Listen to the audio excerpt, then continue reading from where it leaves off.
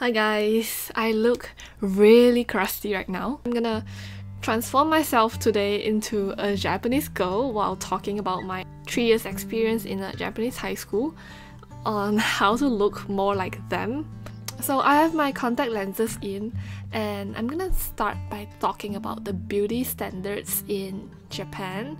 So specifically my experience in a Japanese high school, I'm gonna talk about contact lenses. For the first time I came to Japan is in that high school. Not many people wearing glasses, and I thought, oh, Japanese people really have good eyesight. But I was wrong.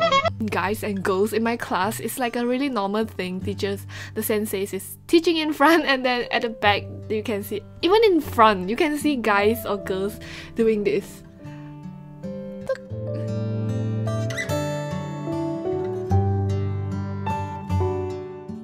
Yeah, so that is how I noticed they are wearing contact lenses instead of having really good eyesight. Moving on to do my makeup, tutorial I watched is by a Japanese YouTuber named Nanako in my school. Like every girl looked like her. Next thing I'm gonna talk about is what I observed in my high school. So this high school we have like five years. I came in during the third year, so it's like on the third year to fourth year, the transition, I can see girls in my school actually change. Like more and more girls started wearing makeup, started doing their hair, and started wearing really well dressed clothes, ditching their glasses. They look really different and look way older than their age. Imagine you're a chicken in the supermarket and then you became a fried chicken. You know what I mean? So it's like the chicken has value itself, but it just like another level up. So mm-hmm. yeah, you went from a raw chicken to a fried chicken. Everybody getting real pretty. So in class, I would actually unconsciously stare at them sometimes. I actually discovered the reason why.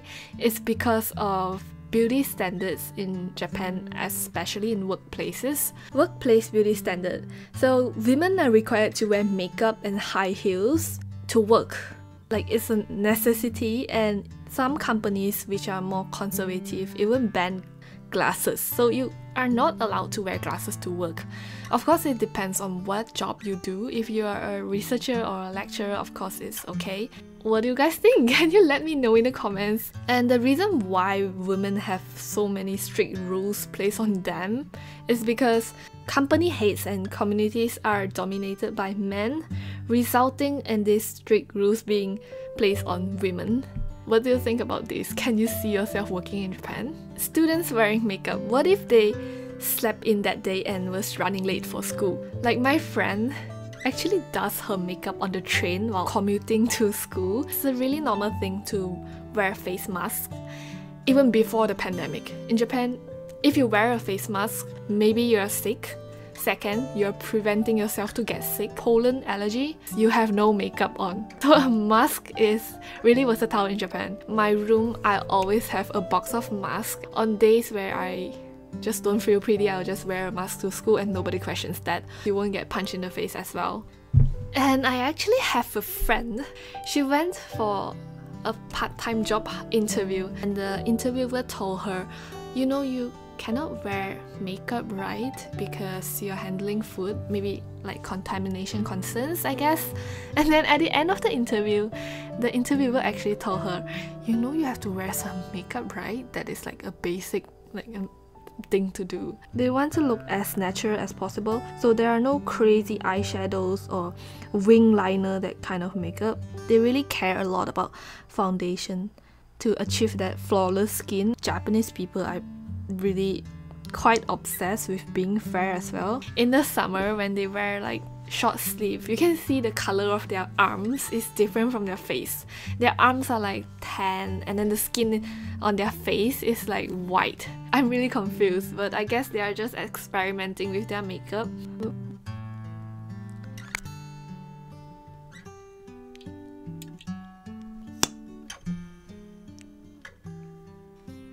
Okay, so next, let's have a mini break and see if YouTube wanna place an ad here. let's talk about bangs. It is kawaii to have bangs. There are girls that I think and would look better with without bangs, but they have bangs because it's kawaii. Yeah, I think I'm the only one who doesn't have bangs.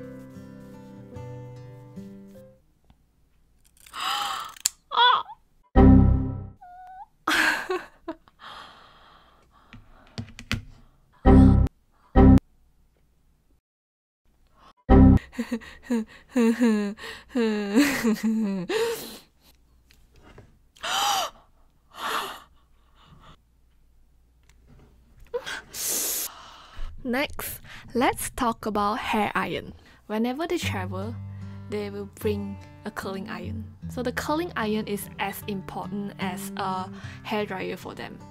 And I have seen girls bringing a curling iron and plug it in the wall of a class during break time and they just curl their hair there in front of everyone. For me, I think that is really interesting. The first time I saw it, I was like, what? Are you serious? Lunch break?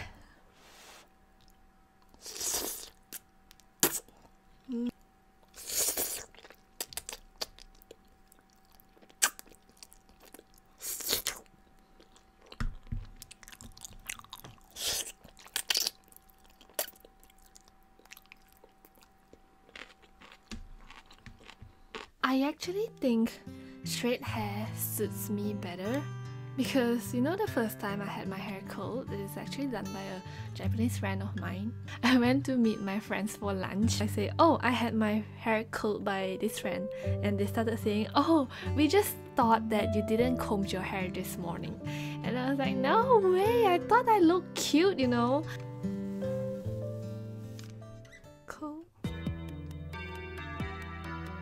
Inwards, outwards, inwards. Okay. I'm so sorry that I titled this video how to look like a Japanese, but I look like a fool right now. now, let's talk about clothing. I made the worst, most embarrassing mistake ever. Japanese summer is really, really hot, so I usually wear shorts because that is what I usually wear back in my home country. I, I never thought of it is exposing or sexy at all, so I just wear it like it's a normal thing. Everybody will stare at you. As time passes, I kind of adapt and kind of know myself what is socially acceptable and what is not. I actually have an English teacher, so he asked me before, have I ever been called a I was so shocked because a such a strong word and we kind of talked and he said um, because how i dress is how the other american girls dress in america. But in japan it's like everyone just overdress. Most of them they will wear something like white pants or pants that looks like skirt. Nothing tight actually. Anything like a camisole a singlet or a tank top is considered an undergarment in japan. So you're not supposed to wear that alone. Japanese don't really wear shorts, but they wear mini skirts. That isn't exactly mini unless you shop in H&M. The final thing I want to talk about is shaving. So Japanese girls shave everything. Everything they shave. Even the hair on your finger, they shave. They just shave everything except their head and also their and if you don't shave it's like something that they find weird because I have a friend she wear shorts while doing volleyball or something and then the girls ask her why don't you shave your leg I'll be getting my boyfriend's reaction so let's call him